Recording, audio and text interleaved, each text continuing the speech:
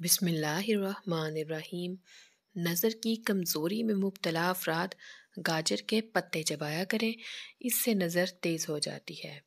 एक तहकीक के मुताबिक, जो लोग रोज़ाना बादाम खाते हैं, इन्हें कभी कैंसर नहीं होता।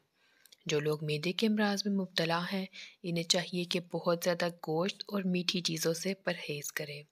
अगर कोई इंसान अपनी अक्ल में इजाफ़ा करना चाहता है तो उसे दोपहर के वक्त थोड़ी देर सोना चाहिए।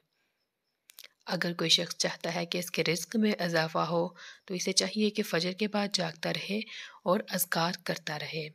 जो लोग बालों में बहुत ज़्यादा कंडीशनर का इस्तेमाल करते हैं, इनके बाल वक्त से पहले सफ़ेद हो जाते हैं। अगर खाने में नमक तेज़ हो जाए तो आटे के छोटे छोटे बॉल बनाकर सालन में डाल दें। मसाला नमक चूस लेगा और हांडी में नमक तेज़ हो जाएगा। ठीक हो जाएगा। मलट्ठी और अदरक का कहवा पीने से ज़ुकाम जल्दी नहीं लगता। जिन लोगों के पेट में हर वक्त गैस रहती है, इनके लिए ज़रूरी है कि वो खाना खाने के बाद एक खजूर खा लें। इससे गैस की कमी दूर हो जाएगी।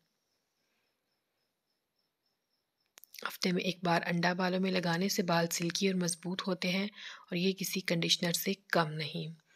जो लोग रोज़ाना नाश्ते में सलाद का इस्तेमाल करते हैं, इनका पेट कभी बाहर नहीं आता। लोहे के बर्तन में दूध पीने से हाजमा बिगड़ जाता है। वीडियो पसंद आए तो उसे लाइक ज़रूर करें और चैनल को सब्सक्राइब करते